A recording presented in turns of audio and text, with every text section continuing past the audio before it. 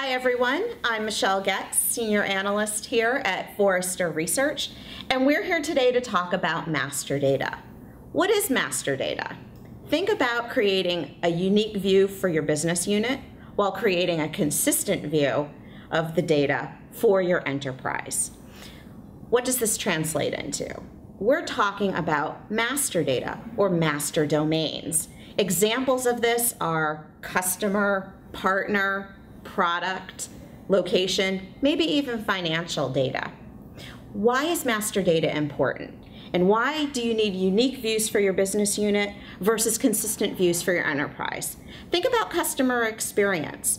Your marketing department may want to have a personalized engagement experience with the customer. They need to know who they are, they need to know what they're interested in, and they need to know how to communicate best. Is it through mobile, is it through email, or is it directly within store?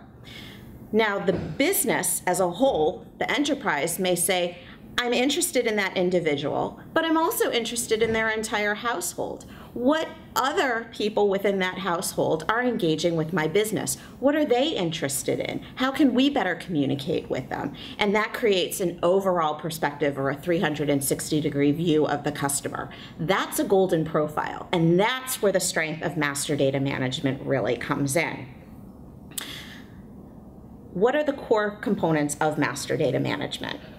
The first thing is think about what is the definition of the entity? How do you maintain a repository of that definition? What are the key elements that make up a customer or a product or location information? The second thing you need to think about is how do you model this information? What is the view that you need? Think about relationships hierarchies. Sometimes you need just a consistent and unique record, and other times you need to Rubik's Cube that information to create those unique views for the business unit while maintaining consistency across the enterprise.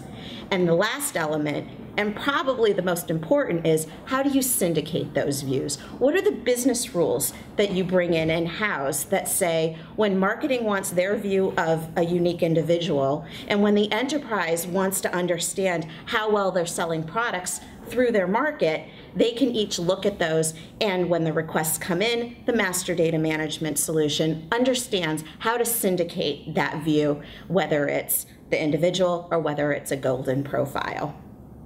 So thanks for joining us. Hope you found this valuable. This is Master Data Management.